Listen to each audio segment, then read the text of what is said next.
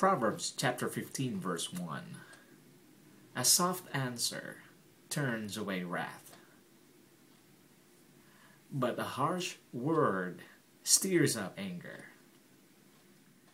It just simply means to use your words to inspire others and to avoid any words that might stir up anger. I'm your friend. My name is Pastor Mark, and I'm praying for you. May God give you the desires of your heart today.